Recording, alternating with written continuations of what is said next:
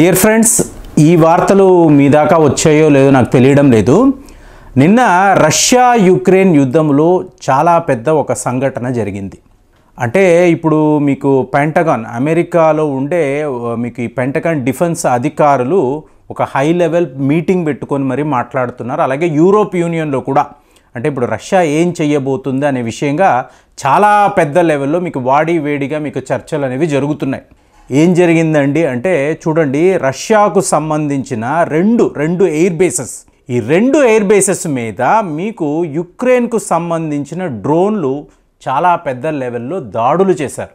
అదేంటది? యుక్రెయిన్ వాళ్ళు ఇలా డ్రోన్లు పెట్టుకొని రష్యా మీద దాడులు చేయడం ఏమిటి అంటే ఈ వార్త ఇదేనండి. The most important critical information అని చెప్పేసి ఇవాళ మీకు ఇంటర్నేషనల్ మీడియా మాట్లాడుతుంది. ఇందులో ఏంగిల్స్ టూ అనబడే ఒక ఎయిర్ బేస్. ఈ ఎంగిల్స్ టు ఎయిర్ బేస్ అనేది ఎంత ముఖ్యమో నేను చెప్తాను వినండి. అలాగే ఇంకొకటి ద్యాజీ లేవో. ఈ ద్యాజీ లేవో అనేది మాస్కో నుంచి నూట యాభై కిలోమీటర్ల దూరంలో అంటే ఆల్మోస్ట్ చాలా చాలా చేరువలో ఇక్కడ ఉండే ఒక ఎయిర్ బేస్ ఈ రెండింటిని మీకు యుక్రెయిన్ వాళ్ళు టార్గెట్ చేసి ప్లాన్డ్గా ఈ ఎయిర్ బేసెస్ మీద మీకు దాడులు చేశారు. మీరు మామూలుగా ఈ రష్యా యుక్రెయిన్ యుద్ధాన్ని గమనించారనుకోండి మీకు రష్యా వాళ్ళు మామూలుగా వాళ్ళ యుఎస్ఎస్ఆర్ యొక్క పాత ట్యాంకులు పాత విమానాలు వీటిని పెట్టుకొని యుక్రెయిన్ మీద దాడులు చేస్తూ వస్తున్నారు. ఎప్పుడు అసలు సిసలైన దాడులు స్టార్ట్ అయ్యాయి అంటే మీకు రష్యాను క్రీమియా అనబడే పంతొమ్మిది కిలోమీటర్ల బ్రిడ్జ్ దీనిని యుక్రెయిన్కి సంబంధించిన కొంతమంది రష్యా వాళ్ళు దీన్నే తీవ్రవాద దాడులు అని చెప్పి చెప్తున్నారు. ఈ తీవ్రవాద దాడులు ఎప్పుడైతే ఈ బ్రిడ్జి మీద జరిగిందో మీకు రష్యా క్రిమియా మధ్య ఉండే ఇంత పెద్ద బ్రిడ్జ్ కూలిపోవడంతో సో అప్పుడు రష్యా వాళ్ళు ఏంటంటే ప్రతీకార చర్యగా వీళ్ళు యుక్రెయిన్ మీద దగ్గర దగ్గర ఎనభై రెండు డ్రోన్లను పెట్టుకొని మీకు కీవ్ అనబడే రాజధాని మీద విరుచుకుపడ్డారు. చాలా హై లెవెల్లో రష్యా వాళ్ళ అసలు సిసలైన దాడులు అని చెప్పి ఆ రోజు మనం ఒక వీడియోలో కూడా మాట్లాడుకున్నాం.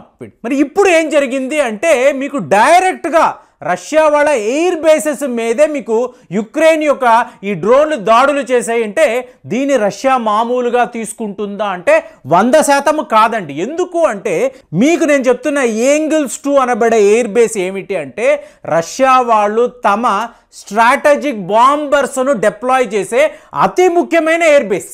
అంటే ఇంకా చెప్పాలంటే మీకు రష్యా వాళ్ళ ఈ bombers TU ninety five TU one sixty అంటారు. టియు నైంటీ ఫైవ్ మీకు ఒక పదిహేను బాంబర్స్ మీకు అక్కడ డిప్లాయ్ అయి ఉన్నాయి. అలాగే టియు వన్ సిక్స్టీని మీరు చూసారనుకోండి వాటిని కూడా మొత్తము ముప్పై బాంబర్స్ అండి. ఏది న్యూక్లియర్ అస్త్రాలను మోహరించగలిగే బాంబర్స్ను వీళ్ళు ఇక్కడ డిప్లాయ్ చేసుకుంటే ఈ రెండు ఎయిర్ బేసెస్లో అక్కడికి అంటే అక్కడ ఇలాంటి బాంబర్స్ ఉంటాయని చెప్పి యుక్రెయిన్కి ఎలా తెలిసింది? ఎవరు ఇన్పుట్స్ ఇచ్చారు? ఇన్పుట్స్ ఇవ్వడం కాదు. ఇప్పుడు మీరు ఒక భారతదేశం లాంటి ఇంత శక్తివంతమైన దేశాన్ని చూసారనుకోండి మన దగ్గర ఒక స్ట్రాటజిక్ బాంబర్ కూడా ఇవాళ వరకు లేదండి. మనం కొనలేదు మనకు అవసరం లేదని మనం అనుకున్నాం. కానీ అదే రష్యాను చూసారనుకోండి ఏకంగా ముప్పై స్ట్రాటజిక్ బాంబర్స్ను ఈ రెండు ఎయిర్ బేసెస్లో వాళ్ళు డిప్లాయ్ చేసి ఉంచితే డైరెక్ట్గా యుక్రెయిన్ నుంచి ఏంటి దూరం ఎంత చెప్పమంటారా? నాలుగు వందల యాభై కిలోమీటర్ దూరంలో ఉండే అంటే ఈ ఏంగిల్స్ టూ అంటున్నాను చూసారా? Four fifty kilometres. అలాగే ఈ దయాజీ లేవు అంటున్నాను చూసారా? ఇది వన్ ఫిఫ్టీ కిలోమీటర్స్. ఇంత దూరంలో ఉండే ఎయిర్ బేసెస్లో ఇలాంటి విమానాలు ఉన్నాయి. ఒక్కసారి మనం డ్రోన్లతో వీటి మీద దాడులు చేస్తే రష్యా రష్యాకు చాలా పెద్ద లెవెల్లో మనం నష్టము కలిగించవచ్చని ప్లాన్ చేసుకొని యుక్రెయిన్ వాళ్ళు సడన్గా నిన్నటికి నిన్న ఇలాంటి ఒక అటాక్ చేశారు. సో ఇప్పుడు అందరూ మాట్లాడుతున్న విషయం ఏంటంటే రెండు బాంబర్స్ అండి. చూడండి మన దగ్గర ఒక బాంబర్ కూడా లేదు. వాళ్ళ దగ్గర ముప్పైకి పైగా బాంబర్స్ ఉన్న దగ్గర ఆ ఎయిర్ బేస్ మీద యుక్రెయిన్ వాళ్ళు దాడులు చేసి రెండు బాంబర్స్ని ధ్వంసము చేశారంటే ఇప్పుడు రష్యా యొక్క రెస్పాన్స్ ఎలా ఉంటుంది? ఇదే అందరూ మాట్లాడుతున్నారు. ఇప్పుడు క్రీమియా మీద యుక్రెయిన్ వాళ్ళు దాడులు చేశారు అన్నప్పుడు ఏంటంటే అది రష్యా యొక్క భూభాగం.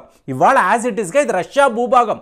అలాంటిది మాస్కోకి నూట యాభై కిలోమీటర్ల దూరం అన్నప్పుడు మీకు లిటరల్గా రష్యా టెరిటరీలోకి వెళ్ళి యుక్రెయిన్ వాళ్ళు ఇలా దాడులు చేశారు అని చెప్పి మీకు వార్తలు వస్తున్నాయి. అంటే కరెక్ట్గా సరిహద్దులు. మరి ఇప్పుడు రష్యా మీదే మీరు యుద్ధం ప్రకటించినట్టే కదా. కాబట్టే ఇవాళ యూరోప్ యూనియన్ అనండి అమెరికాలో పెంటగాన్ అధికారులు ఇంత పెద్ద లెవెల్లో వీళ్ళు ఇప్పుడు చర్చలు చేసుకున్నారు. ఏంటి? డైరెక్ట్ రష్యా యొక్క స్క్వాడ్రాన్. స్క్వాడ్రాన్ వాళ్ళు సో దీన్ని ఏమంటారు? One two twenty five bomber aviation regiment అంటారు. అంటే ఏకంగా మీకు స్వాడ్రాన్ కూడా కలిసి మెలిసి ఉన్న ఒక ఎయిర్ బేస్ మీద యుక్రెయిన్ వాళ్ళు ఇంత సో ఇలాగ దాడులు చేయడాన్ని రష్యా ఏ విధంగా తీసుకుంటుంది? అంటే వాళ్ళ రియాక్షన్ వాళ్ళ రెస్పాన్స్ వాళ్ళ ప్రతీకారం అనేది ఎలా ఉంటుంది? ఆల్రెడీ ఎనభై రెండు డ్రోన్లను మాత్రమే మనం చూసాం. మనము అణు అస్త్రాలతో మీకు ఎలా యుద్ధాలు జరుగుతాయని కూడా చూసాం. మాకు అంటే మా మాస్కో డాక్ట్రైన్ ప్రకారము ఎవరైనా రష్యా మీద దాడులు చేస్తే అంటే ఇప్పుడు రష్యా వాళ్ళు వెళ్ళి యుక్రెయిన్ మీదే కదా యుద్ధము చేస్తున్నారు. మరి యుక్రెయిన్ వాళ్ళు ఇవాళ ఏం చేశారు?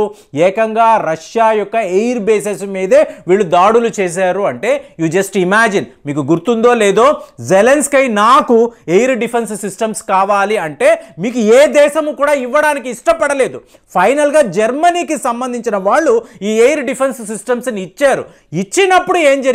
అంటే ఒక పది మిజైల్స్ మా మీదకి వస్తే ఎనిమిది మిజైల్స్ను మేము ఆపగలము. అలాంటి సత్తా ఇవాళ యుక్రెయిన్కి ఉందని జెలెన్స్కై చెప్పాడు. సో చెప్పడము చెప్పడము మీకు మొన్న అక్టోబర్లో యుక్రెయిన్ ప్రభుత్వము ఒక వార్తను విడుదల చేస్తుంది. అంటే వాళ్ళు ఏమంటున్నారు? యుక్రోబోరన్ ప్రోమ్ అనబడే సంస్థ అత్యాధునికమైన మిజైల్స్ను డ్రోన్లను వీళ్ళు తయారు చేశారు. సో దీనిని మేము త్వరలోనే ఇండక్ట్ చేయబోతున్నాం. ఎప్పుడు? నవంబర్ ఇరవై నాలుగు మీరు గమనించారనుకోండి మా దగ్గర మోస్ట్ సాఫిస్టికేటెడ్ డ్రోన్స్ అనేవి సిద్ధముగా ఉన్నాయి. మేము యుక్రెయిన్ యొక్క ఎయిర్ ఫోర్స్లో దీన్ని జాయిన్ చేయబోతున్నాం ఇండక్ట్ చేయబోతున్నాం డెప్లాయ్ చేయబోతున్నాం అని చెప్పి చెప్పారు. చెప్పినప్పుడు అంటే మొన్నటికి మొన్న డిసెంబర్ ఐదవ తారీఖు రష్యన్ ఆయిల్ ప్రైస్ క్యాప్ అని చెప్పి యూరోప్ యూనియన్ మొత్తం రష్యన్ ఆయిల్స్ని బ్యాన్ చేశారు అన్నప్పుడు దీనిని మేము సెలబ్రేట్ చేస్తున్నామని చెబుతూ మీకు యుక్రెయిన్ వాళ్ళు ఇలాగా రష్యా ఎయిర్ బేసుల మీద ఇట్లాగా వాళ్ళ సొంత డ్రోన్లు అంటే ఇది సొంత డ్రోన్లా ఎవరు ఈ సపోర్ట్ అందించారని ఆల్రెడీ మాట్లాడు నాకు వచ్చిన సందేహం ఏంటంటే ఇజ్రాయెల్కు సంబంధించిన మోజాద్ వాళ్ళు ఆల్రెడీ యుక్రెయిన్లో ఉన్నారు. వాళ్ళే ఇలాంటి కీలకమైన ఇన్పుట్స్ ఇస్తున్నారు. కాబట్టి ఐదర్ టర్కీకి సంబంధించిన బైరక్టర్ డ్రోన్లో లేదా ఇజ్రాయెల్కి సంబంధించిన డ్రోన్లో ఎవరో కలిసి ఇలా ఇంత పెద్ద దాడిని వీళ్ళు ప్లాన్ చేశారు యుక్రెయిన్ ఎగ్జిక్యూట్ చేసే విధంగా వీళ్ళు ఇలాంటి ఏర్పాట్లు చేశారని చెప్పి నాకైతే వంద శాతం అనిపిస్తుంది. ఇంకా దానికి సంబంధించిన ఎటువంటి రిపోర్ట్స్ రాలేదు. కానీ ఇవాళ యుక్రెయిన్ వాళ్ళు రష్యా యొక్క ఎయిర్ బేసెస్ మీద అతి ముఖ్యమైన అతి ముఖ్యమైన రెండు ఎయిర్ బేసెస్ మీద వాళ్ళు ఇలా దాడులు చేశారంటే దీన్ని రష్యా చాలా ఈజీగా తీసుకుంటుందని ఎవరు అనుకోరండి. కాబట్టి ఖచ్చితంగా వాళ్ళ వైపు నుంచి చాలా చాలా స్ట్రాంగ్ రెస్పాన్స్ ఉంటుంది. మరి ఈ రెస్పాన్స్ ఎలా ఉంటుంది? ఏకంగా అణు అస్త్రాలను వాళ్ళు వాడతారా అని చెప్పి కూడా ఇవాళ యావత్ ప్రపంచము లిటరల్గా అంటే నెక్స్ట్ టూ డేస్ వీళ్ళు వ్లాదిమిర్ పుతిన్ ఏం ప్లాన్ చేస్తాడు? యుక్రెయిన్ని పూర్తిగా మీకు లేకుండా చేస్తాడా? ఎందుకంటే ఇవాళ దేశము దేశముగా లేదండి. మీకు అక్కడ ప్రజలు ఎవరు కూడా నివసించడానికి ఇష్టపడడం లేదు. టోటల్ కంట్రీ డిస్ట్రాయ్ అయిపోయి ఉంది. ఈ యుద్ధం ఎప్పుడు ముగుస్తుందో జెలెన్స్కై కూడా తన దగ్గర ఉన్న డబ్బు తీసుకొని యుక్రెయిన్ విడిచి పారిపోతాడు. ఇదంతా అందరికీ తెలిసిన విషయమే. కానీ ఇవాళ మీకు జెలెన్స్కై మీద యుక్రెయిన్ మీద ప్రతీకారం తీర్చుకోవడానికి రష్యా వాళ్ళు ఏం చెయ్యబోతున్నారు అనేది అందరూ మాట్లాడుతున్న విషయము. మరి దీని మీద మీరేం ఆలోచిస్తున్నారు? మీ ఫీలింగ్స్ ఎలా ఉన్నాయి? ఇదంతా మనకు అవసరమా అండి? ఎందుకు ఇంత హింస? ఇలాంటి ఒక డిస్ట్రక్షన్ అవసరమా అని మీరు అనుకుంటే దయచేసి కామెంట్స్లో తెలియజేయండి. మళ్ళీ వచ్చే వీడియోలో కలుద్దాం. జై హింద్.